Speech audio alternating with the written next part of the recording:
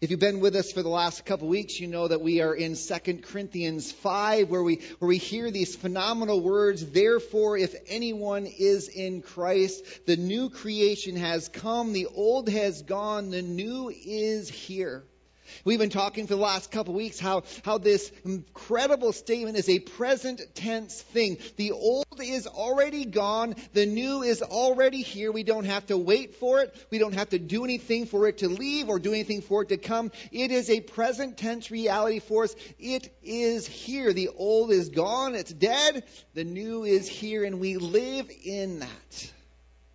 But as Paul lays out 2 Corinthians 5, as he starts to walk us through what does it mean, there is some huge tension points between what does it mean to be in the old creation, what does it mean to be in the new creation. And these tension points of moving from one to the other are so important. It's because that it's in these tension points of wondering how do we move from here to there? This idea of I am stuck where I am right now, my old creation. I want to be over here in the new, but I keep living my old. That tension point is the point of transformation in our lives. And the Apostle Paul begins to walk us through what does it mean to, to live in this new creation. Even though the old is gone, we still have a choice of whether we're going to live in it or not. And moving from one to the other causes some huge tension in our lives. And I think that's why Scriptures tells us over and over again to persevere in trials. James 1, consider it joy when you face these well, trials and these testings and this, this tension of moving from one to the other. Consider it joy because it is through those trials, it is through this testing of our faith that we develop maturity in life. That's James' words. Paul's words are, it is through these trials and testings that we move from the old creation that is already gone to the new creation that is here. If you would turn with me in your copy of God's Word to 2 Corinthians 5, verse 6 says this Therefore, we are always confident and know that as long as we are at home in the body, we are away from the Lord. This is what Pastor Brad's been talking about for the last two weeks, and that, that new body that we receive, that new spirit that has already been given to us, and we live in those. And then verse 7 comes, and it says, For we live by faith and not sight. Because we have moved from the old creation, because we now live in the new creation, Paul says, we now live by faith and not by sight. Now, God created us to be, well, people of senses, right? We use our sight, we use our ears. That's how we experience life. God understands that. But what he's telling us here is that when we become that new creation, when we live in that new creation, our confidence, our our trust, our kind of bedrock understanding the world is not about what I experience here and now. It's about what God says is true and right. It's living by faith in Him. That's what that statement means. Living by faith is understanding that God's ways are right even when they contradict our own experience. It's hard to do.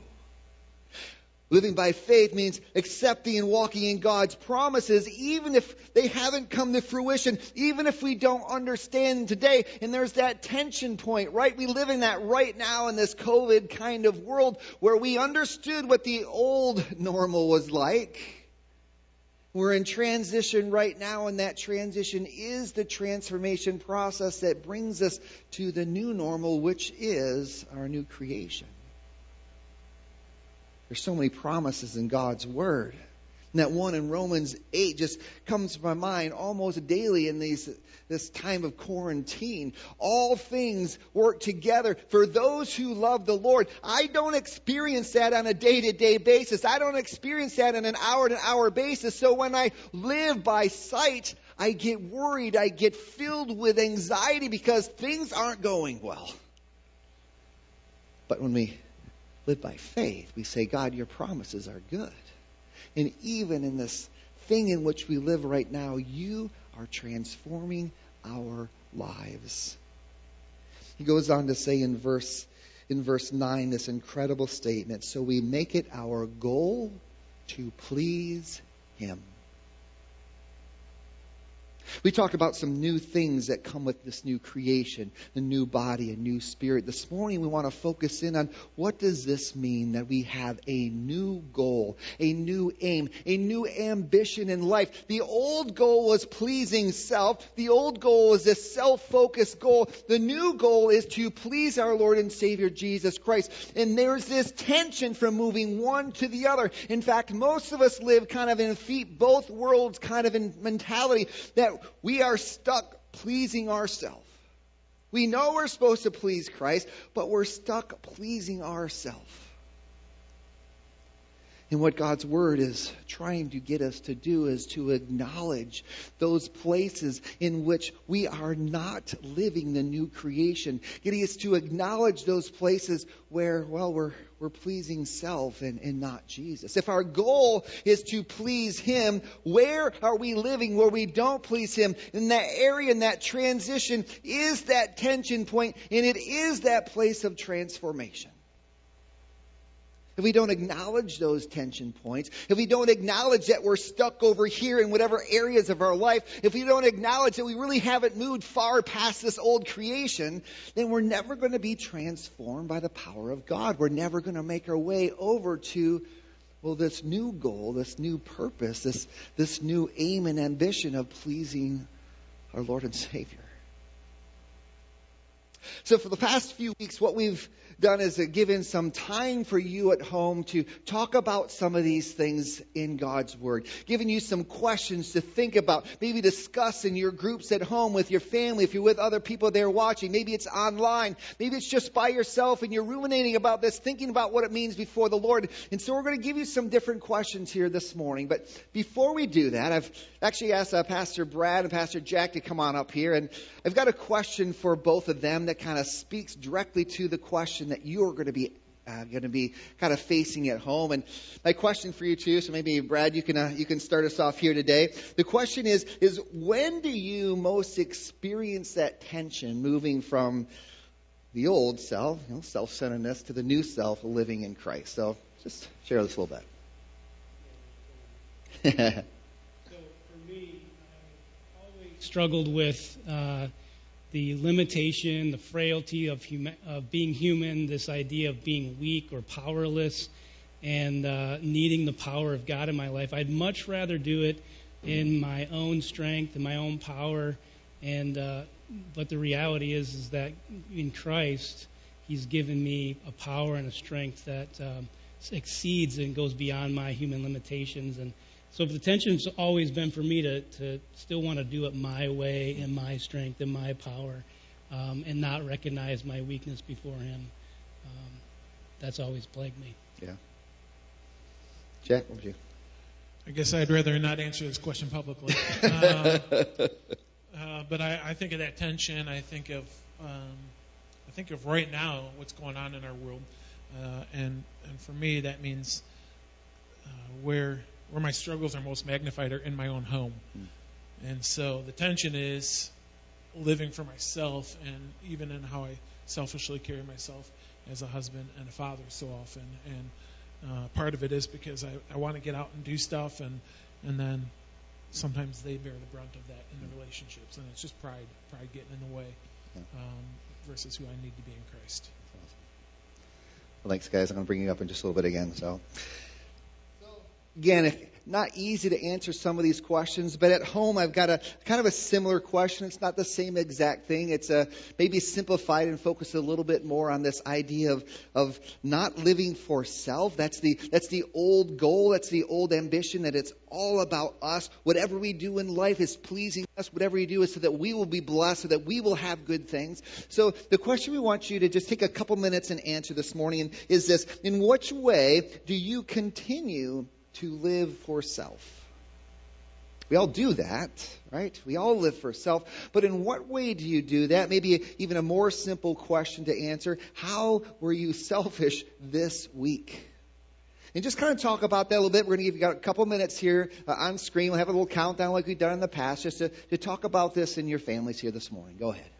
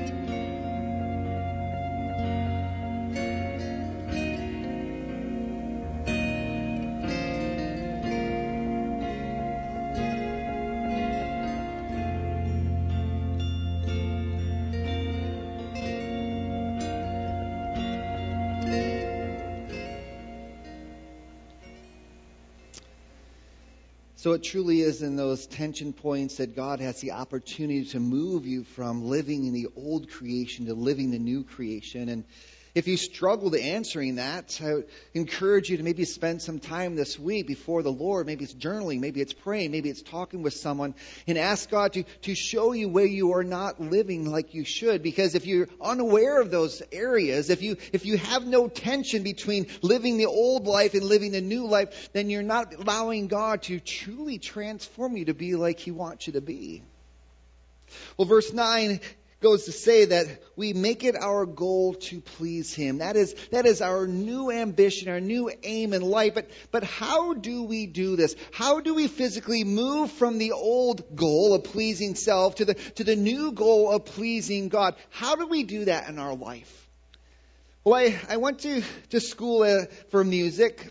I studied French horn and piano, amongst other things. And I remember my very first French horn lesson with uh, Dr. Richard Chenoweth.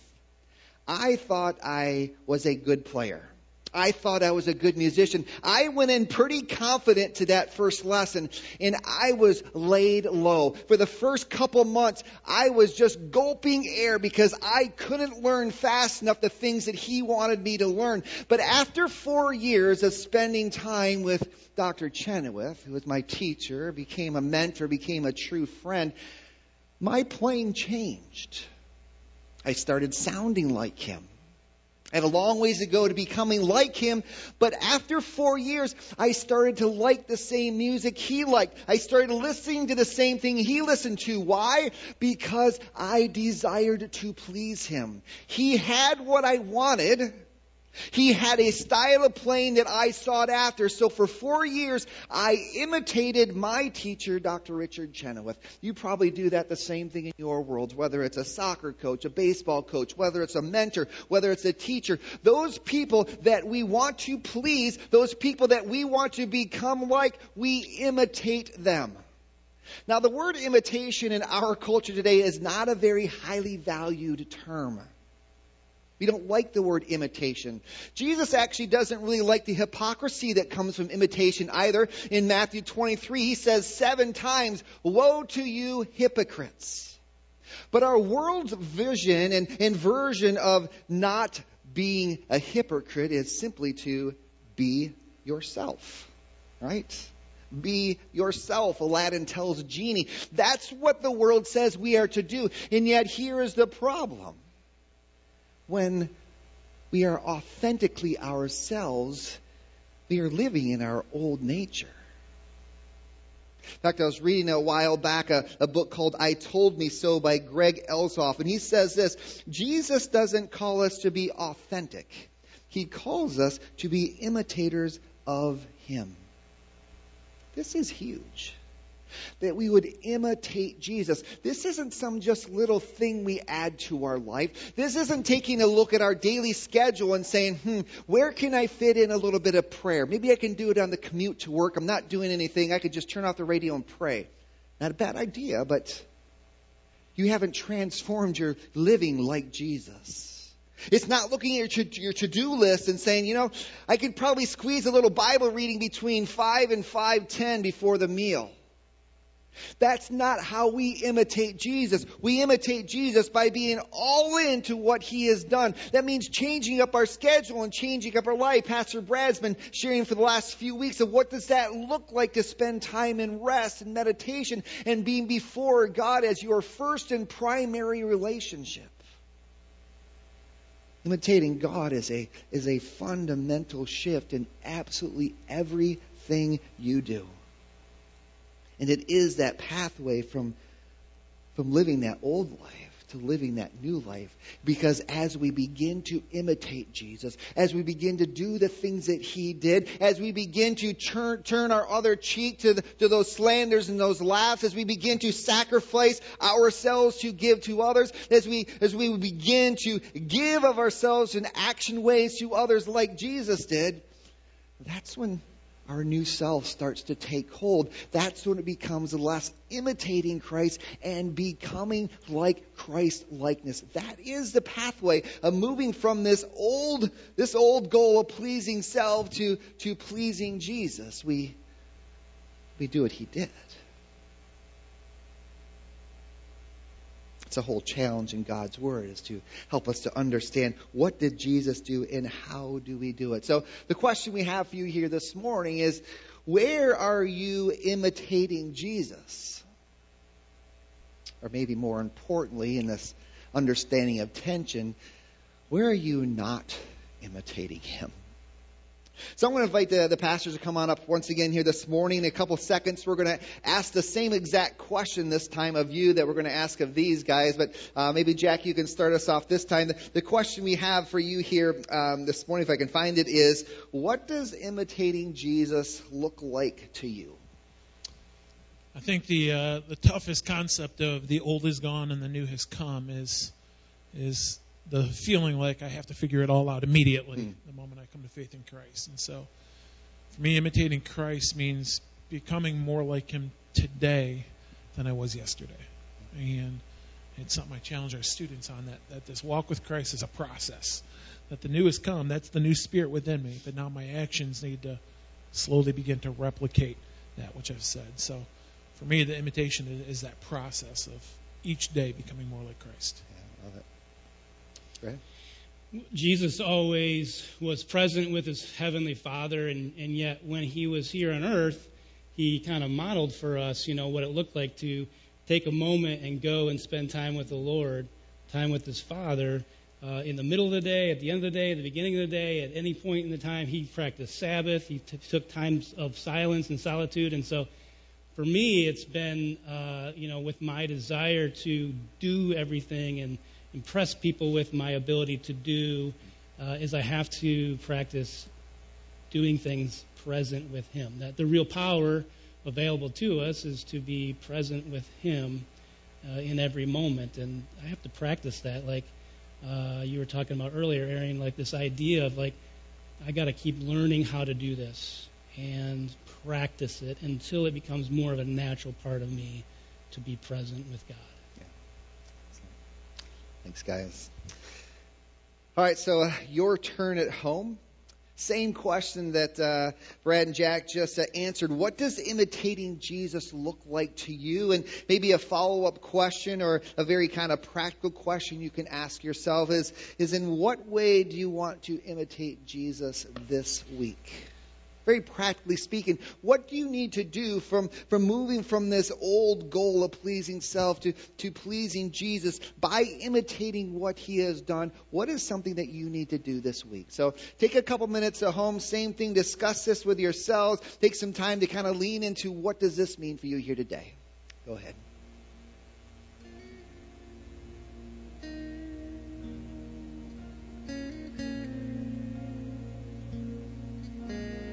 Mm-hmm.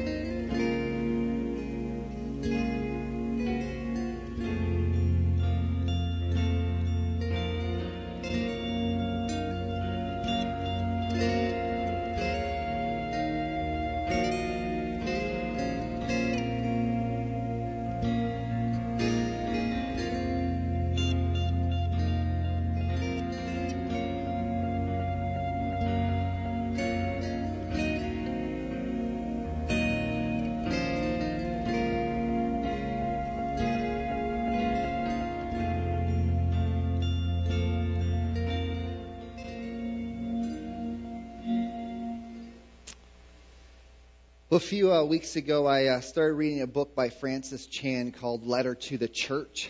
If you want uh, a challenge to what does it mean to live in and experience a life in in church, I challenge you to read that book. I haven't finished it yet, but uh, it's been really uh, inspiring to me and uh, challenging to me in uh, one of the opening chapters, he, he talks about an illustration that really uh, kind of brought home to me what we've been talking about in this idea of moving from the old to the new and this idea of, of imitating Christ in this transfer, transformational transition process. And, and he uses the illustrations of a pair of skates.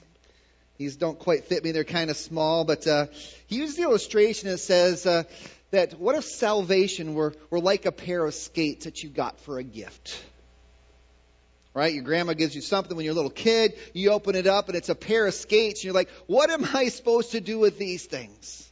So you strap them on and you go out on the ice and you begin to learn how to skate. You do the twirls and you do the flips and you start doing like this girl does, the, the triple Salchow or the triple toe flip or whatever the terminology for figure skating could be. You are excelling at your salvation. You are excelling in what it means to be a skater to you and you are loving it. It's bringing you incredible, immense joy. And the more you learn about it, the more you are invested in what does it mean to, well, to be able to skate. But in this process of life and reading the instructions manual for ice skating, I'm not sure there is such a thing, you realize that, you know what? There may be a different purpose for these things. Instead of me kind of swirling around in the ice and doing the triple Salchow or whatever the thing is called, there's another purpose, and that purpose is that you maybe would be on a, a championship hockey team. Now, I know the skates would look different, but what if you were given that knowledge that, you know what, my salvation is a little different than what I thought it was? And maybe you've never understood that, that maybe a hockey player and the life of Christ could be synonymous. Goal, you gotta love that, right?